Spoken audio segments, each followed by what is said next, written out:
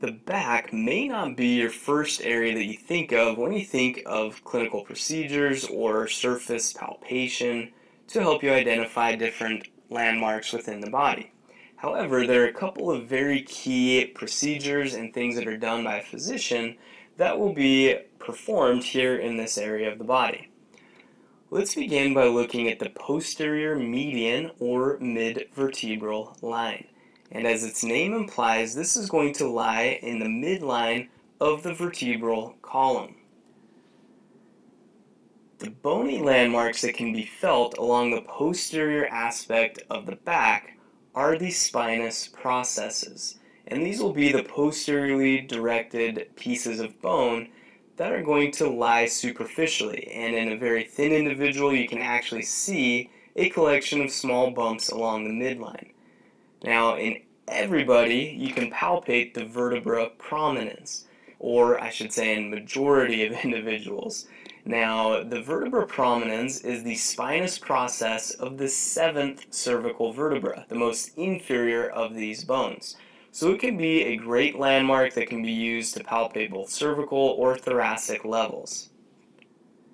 If we continue to move inferiorly along the median or midvertebral line, we can see it's going to create a groove between two large groups of muscles to either side.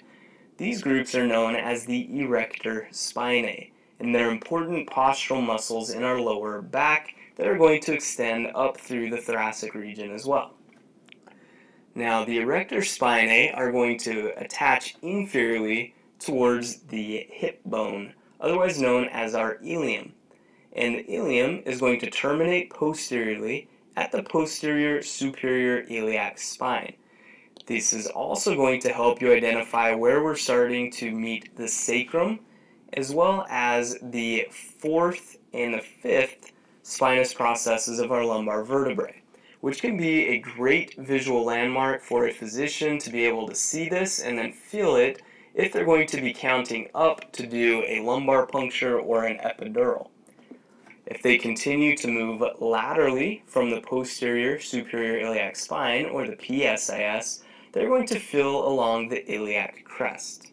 And we can see that the iliac crest is actually going to be higher than what we think of as our gluteal region. So if you're looking at the folds within the buttocks, you're going to be a little bit too low if you're looking for where the approximate midpoint of a safe hip injection would be.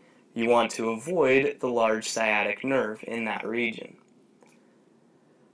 Another area that can be useful for a physician is they're going to be listening or auscultating to the lungs posteriorly in a small window between muscles known as the triangle of auscultation. And this is going to be near a few large uh, muscles in the area that will create the borders that are difficult to see. However, we can usually feel or palpate the inferior angle of the scapula, which will lie just lateral to this small triangle.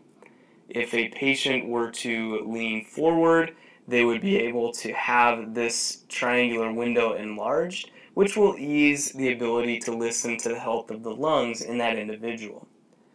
Now, moving from the inferior angle superiorly, a physician is going to be able to feel along the medial aspect of the scapula.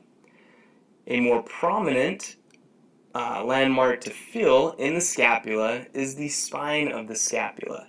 And if you reach your right hand up over your left shoulder and use your fingers, you can feel that spine moving medially which can also help you find that medial or vertebral border of the scapula. So the scapula is going to have a medial aspect and a lateral aspect that are going to come together at that inferior angle, which again can usually be felt in some individuals.